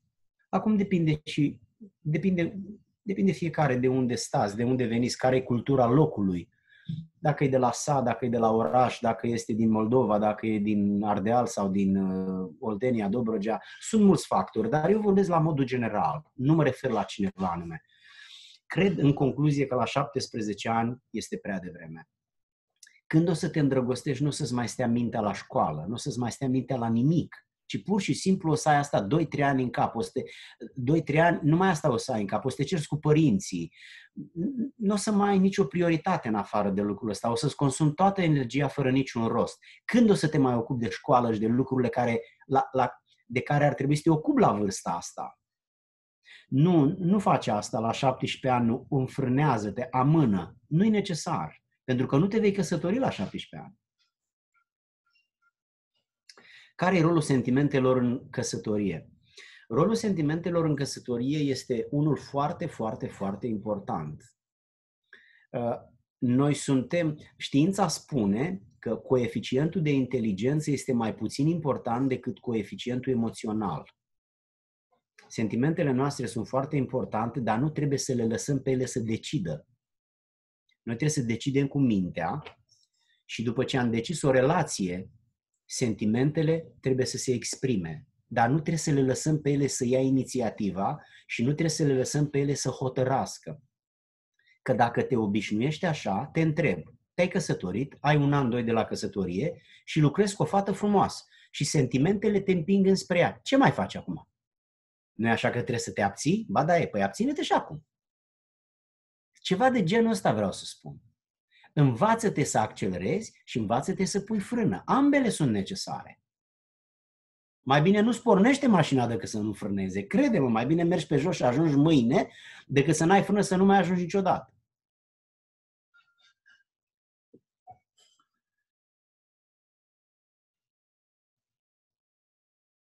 Cineva întreabă care este care este perioada de prietenie? Întrebare, cât timp recomanda să petreacă singur doi tineri? Prieteni care au gânduri de căsătorie. Nu știu dacă se referă la lungimea căsătoriei sau se referă la timpul concret pe care trebuie să-l petreacă amândoi. Dacă se referă la perioada prieteniei, eu cred că ar trebui să fie un an de zile, dacă vă cunoașteți foarte bine, poate să fie mai scurt. Dacă nu vă cunoașteți foarte bine, atunci poate să fie un pic mai lung. Un lucru e clar, nu te căsători cu cineva pe care nu-l cunoști. Te rog frumos, nu te căsători. Uh, dacă vă referiți cât timp să petreceți împreună, recomandarea mea este să petreceți mult timp împreună, dar încercați să, încercați să evitați un loc și un timp care vă poate predispune să faceți prostii. Eu știu că aveți încredere în voi, dar credeți-mă că eu nu am încredere în voi. Eu am avut încredere în mine când am fost tânăr și n-am făcut bine că am avut încredere în mine. Uh, țineți minte, păcatul sexual e singurul păcat de care trebuie să fugi. Cu celelalte trebuie să te lupți, dar păcatul sexual cu ăla nu trebuie să te lupți, de la trebuie să fugi. Aduceți-vă aminte de Iosif că și-a lăsat haina și și-a scăpat viața. Și-a păstrat viața și și-a lăsat haina. Acum depinde ce vrei să-ți păstrezi. Emoția sau viața. Aveți grijă când sunteți împreună, că să știți că pofta n-are minte. Și să știți că emoția e atât de puternică, iar dacă băiatul o convinge pe fată să o lase să mângâie, să o mângâie. O fată are un sistem de alarmă care este corpul ei. Dacă îi permite băiatului să o atingă, se dezactivează sistemul ei de alarmă. Un, bă, un băiat se stimulează prin vedere, o fată prin atingere. Fetelor, nu îi lăsați pe băieți să vă atingă. Soția mea îmi spunea că atunci când era ea mai mică, bunica ei spunea să nu lași băieții să te pupe că rămâi gravidă. Ea zicea că avea vreo 8-9-10 ani, zicea, păi, dar cum mă să rămân gravidă dacă mă pupă? Dar baba știa ce spune săraca, că dacă îl lași să te pupe, te apucă așa o emoție și nu mai știi de tine și când te trezești peste 10 minute e gata.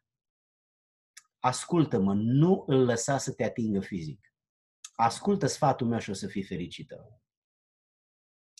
Este o greșeală să accepti ca soț, un băiat care în trecutul lui a avut o perioadă de nepocăință de 2 ani, de 2 ani s-a întors la Domnul, nu, nu e încă botezat cu Duhul Sfânt, depinde de băiat.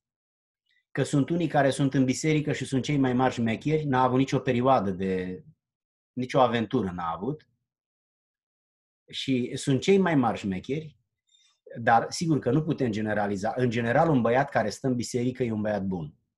Dar unii dintre ei, să știți că stau în biserică, însă vor fi sos complicați. De aceea nu te uita doar la faptul că stă în biserică.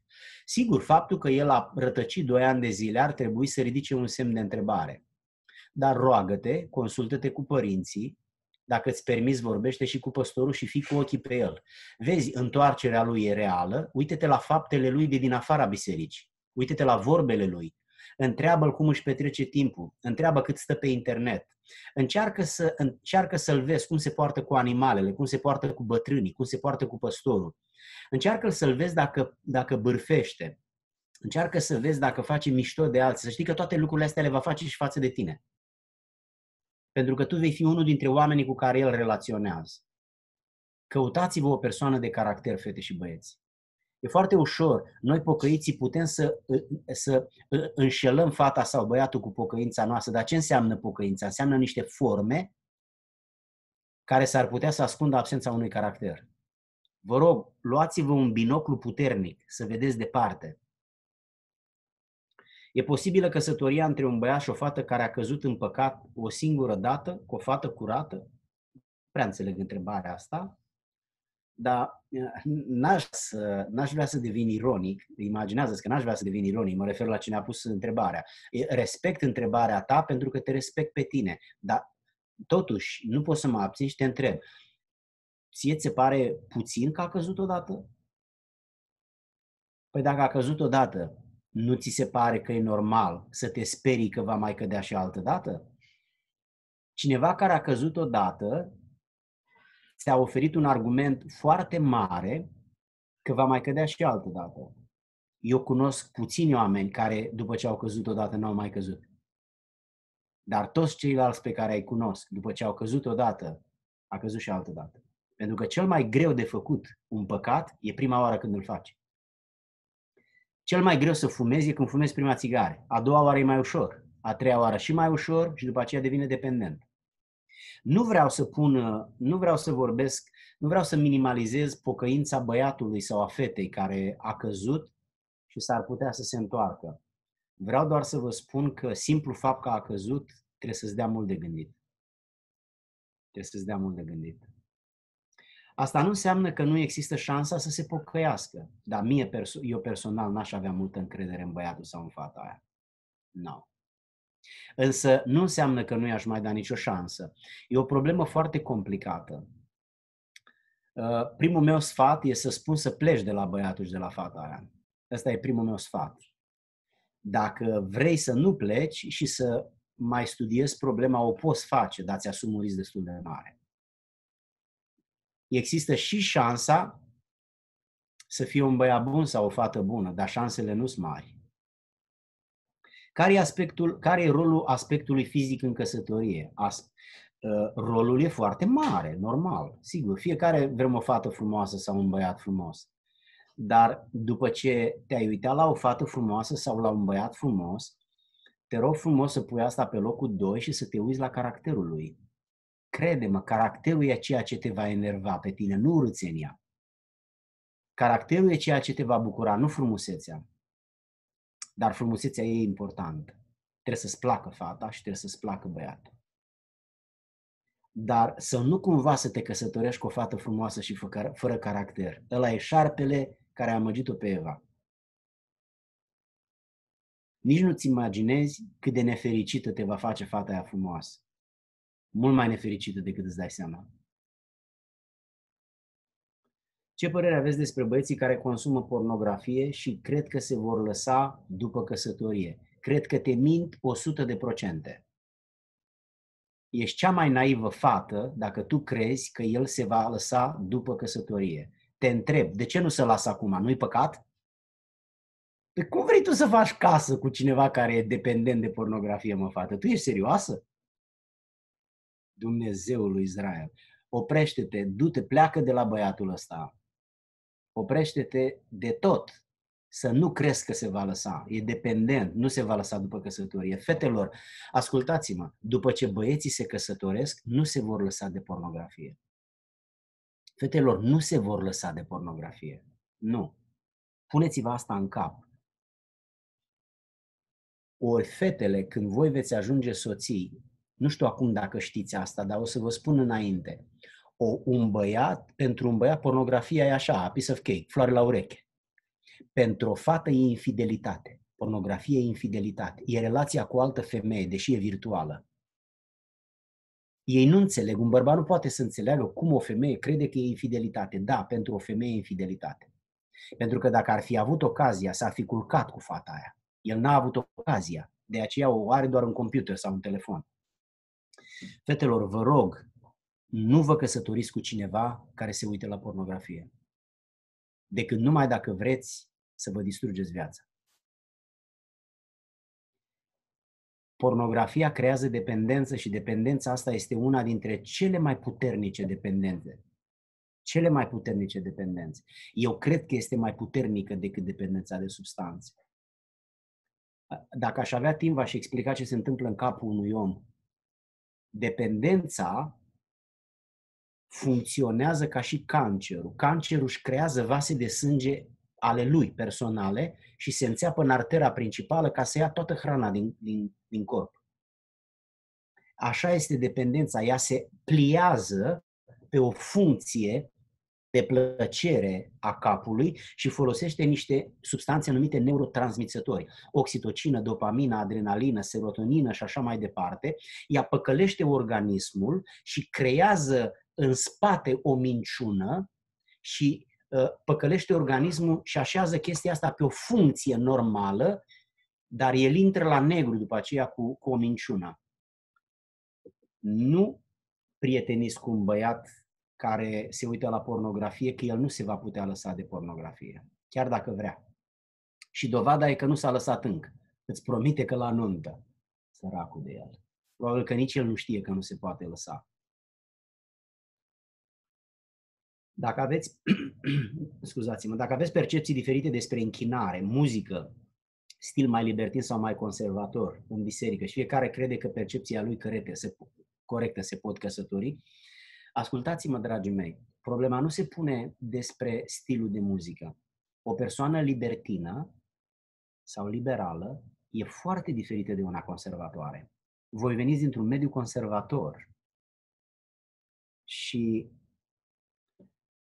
nu numai muzica sau închinarea face diferențe, o să fie multe diferențe. Dacă soțul e mai conservator, el o să te toace cu o vestimentație și cu un stil de viață care pentru tine, fiind o fată mai liberală, o să te termine, o să vă certați toată ziua ca doi dușmani.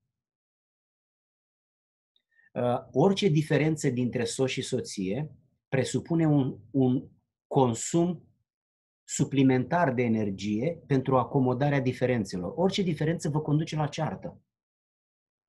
Încearcă să te căsătorești cu cineva care este cât mai aproape de tine. Pentru pocăiți, să știți că închinarea este foarte importantă pocăiții se ceartă mult din cauza la biserică. Căsătorește-te cu cineva care este aproximativ ca tine. Uite-te și la persoană că dacă este flegmatic, flegmaticii sunt foarte încăpățânați. Dacă este sangvinic, sangvinicii sunt foarte flexibili.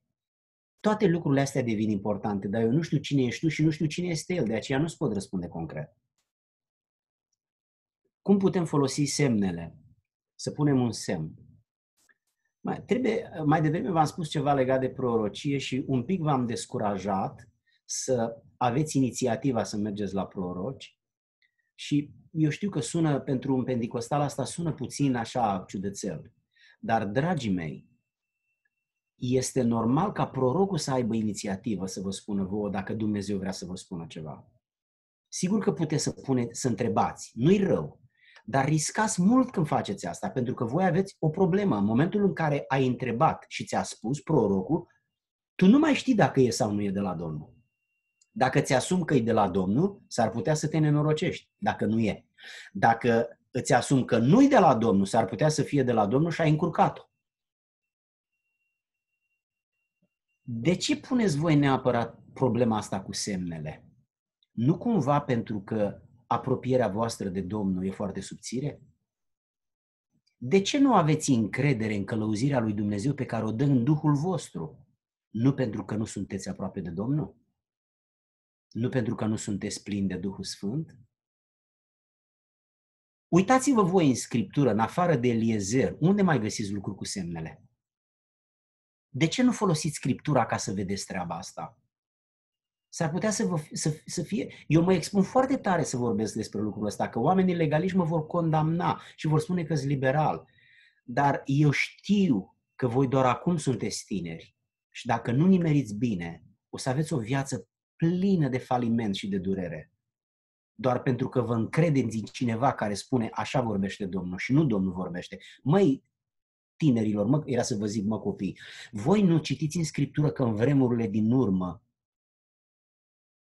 mulți proroci vor vorbi de la ei. Asta spune Scriptura, nu o spun eu. De ce nu considerați lucrul ăsta? De ce voi nimeriți numai la oia buni?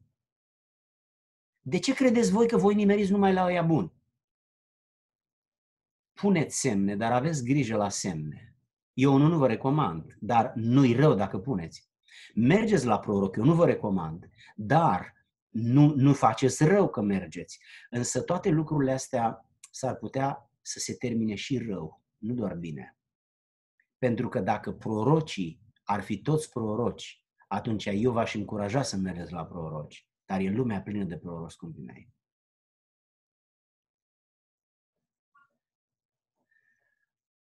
Dacă aveți în biserica voastră, în zona voastră, un proroc foarte respectat, dacă trăiește în, în, în colaborare cu conducerea bisericii, cu păstorii, dacă știți că vorbește Domnul prin el sau prin ea, puteți să folosiți un astfel de proroc. Dar fiți foarte rezervați cu oameni pe care nu-i cunoașteți. Fiți foarte rezervați. Și fiți foarte rezervați dacă este, ati- dacă este inițiativa voastră. Uh, mai sunt două întrebări, cred că una termin în câteva clipe. Uh, un sfat pentru cei care au căzut în păcat împreună înainte de nuntă. Uh, poate că o să vă mire poziția mea. Și eu am trecut de la tinerețe până acum prin multe faze ale înțelegerii din mintea mea cu privire la fenomenele pastorale. Pentru un pastor nu există situație mai grea decât atunci când o familie vrea să divorțeze. Niciun pastor mai bine ar sări de pe un bloc cu 10 etaje decât să vrea să gestioneze o familie care divorțează din biserică. Sau al doilea lucru grav, doi tineri care s-au culcat și vor să facă nuntă. S-au culcat împreună și vor să facă nuntă. Astea sunt niște tragedii pentru un pastor, pentru că e o situație așa de rea la care nu există soluție. Bisericile mai conservatoare, mai legaliste, le dau cu piciorul. Eu de obicei îi întreb pe pastorii care fac așa, dacă ar fi fica ta, ce ai face? Nu spun asta ca să înghită păcatul pe care l-au făcut cei doi, nu. Dar spun asta pentru că trebuie să știe că fata asta și băiatul ăsta care au căzut în păcat sunt totuși doi oameni. Sunt și ei doi oameni care au o viață în față, e adevărat că ce au pierdut nu mai pot recupera, dar să nu mai piardă și ce n-au pierdut. Oricum le vor fi greu să vină la biserică. Oricum vor fi tratați ca oameni de mâna a doua din biserică, o, o bucată lungă de timp. Însă pastorul trebuie să fie un om înțelept. Se știe despre faptul că ei s-au culcat împreună sau nu. Dacă se știe, e cea mai nenorocită situație, cea mai grea. Dacă nu se știe, atunci poate fi gestionată mai ușor. Oricum, păcatul lor e al lor. Dacă ei se pocăiesc, Dumnezeu iartă. Însă ca pastor e foarte greu să gestionezi lucrul ăsta într-o biserică, mai ales dacă e o biserică mai conservatoare. Deci răspunsul meu nu poate să fie foarte concret, pentru că diferă, de, diferă în funcție de mulți factori. Însă totuși un lucru este clar. Și ei sunt doi oameni care trebuie să aibă dreptul la mântuire, la căsătorie, la copii, la o familie fericită și la a se închina în biserică. Că dacă e publică, trebuie să fie excluși uh, ei trebuie să continuă să vină la biserică și să dovedească că a fost un accident. Trebuie să convingă comunitatea că a fost un accident și asta nu-i va convinge într-o săptămână, într-o lună și nici într-un an. Deci ei vor trebui să plătească cu oarecare măsură de umilință. Dacă nu-i public, atunci e mult mai ușor de rezolvat. Însă, încă o dată spun, indiferent ce se întâmplă cu un om, Hristos i-a iubit pe oameni. Într-o zi s-a întâlnit cu o femeie care nu era acuzată, ci fusese prinsă în adulter.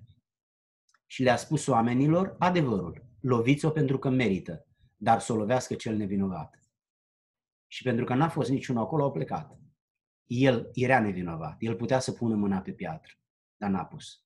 Și i-a spus, nici eu nu pun mâna pe piatră. El i-a zis altfel, nici eu nu te osândesc. Și știți ce a spus? Nu vă vine să credeți. Du-te, dar să nu mai păcătuiești. Vedeți cum e Dumnezeu? Dumnezeu îți dă o a doua șansă.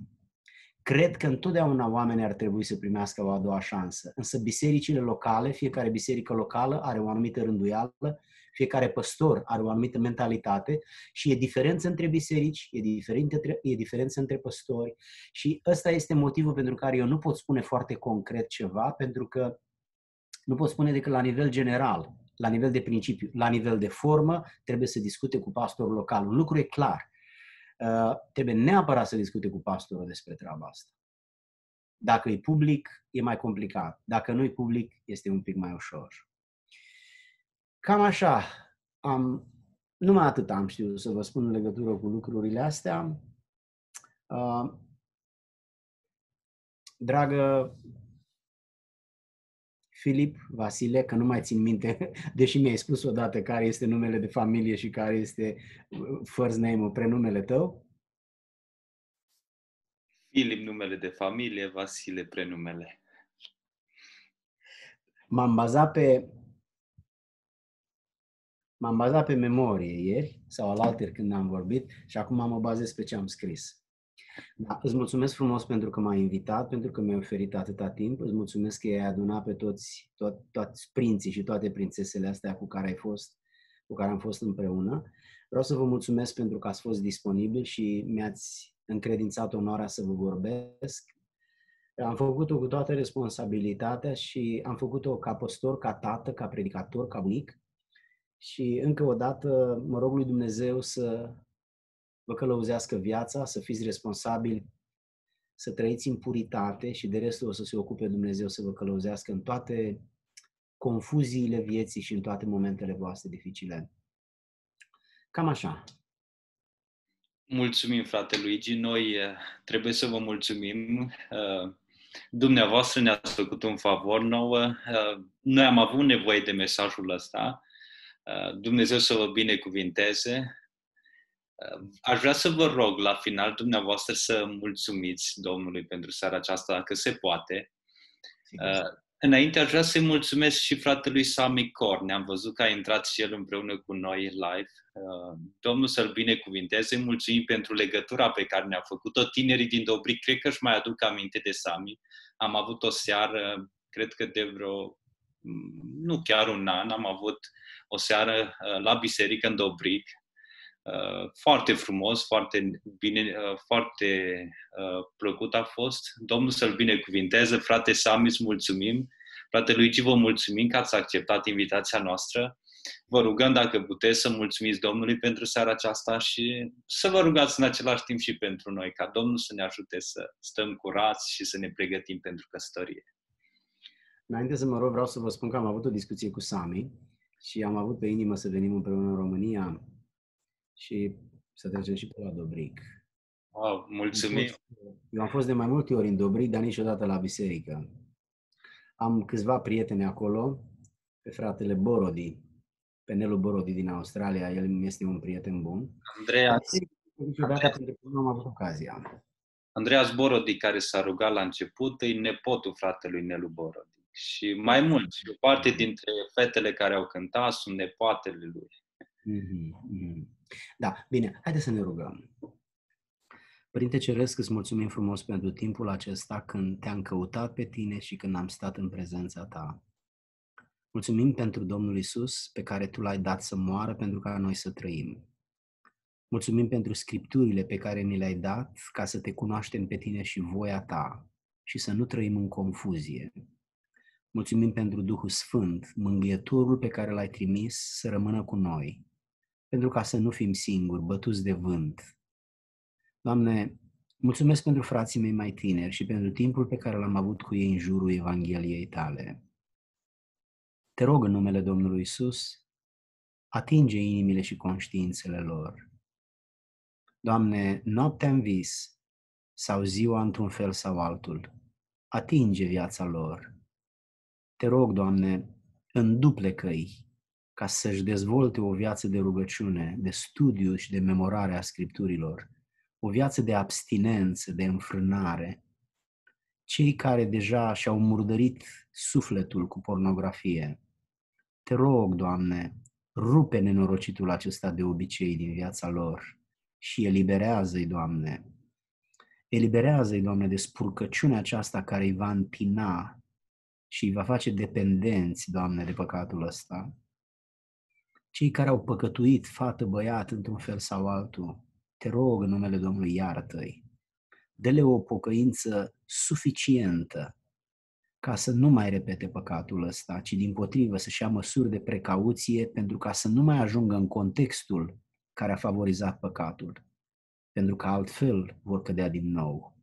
Te rog, iartă-i. Te rog, pune pe un drum al sfințeniei, al purității. Te rog, umple de Duhul Sfânt, ai milă de tinerețea lor. Doamne, ajută-i să-și dea parfumul pentru tine și pentru tovarășul de viață la vremea potrivită. Nu îl lăsa pe diavolul să-i nenorocească și nu-i lăsa nici pe ei să se nenorocească singuri. Luminează-le mintea cu Evanghelia ta. Lasă-l pe Duhul Sfânt într-o măsură îndoită peste sufletele lor, inocente, și binecuvintează-i cu har, cu abstinență, cu capacitatea de a se înfrâna de la păcat. Strică-le obiceiurile care îi pun în împrejurări, în contexte nefavorabile pentru omul din interior, dând libertate omului din afară, firii pământești, să împineze, să le spurce puritatea. Doamne, nu-i lăsa să devină o pradă ușoară în mâna diavolului, dă-le înțelepciune să se țină departe de păcat. Fă folositori în biserică, fă mult rod pentru tine și când se vor căsători, inspiră-i, și înainte de momentul căsătoriei ajută-i să-și dezvolte caracterul, să se abțină de la păcat și să se obișnuiască să se abțină de la păcat, să devină un stil de viață abstinența, Doamne. Îi încredințez în, în mâna Ta și îți mulțumesc pentru ei. Îți mulțumesc pentru familiile lor, îți mulțumesc pentru liderul lor, pentru departamentul lor, pentru biserica lor.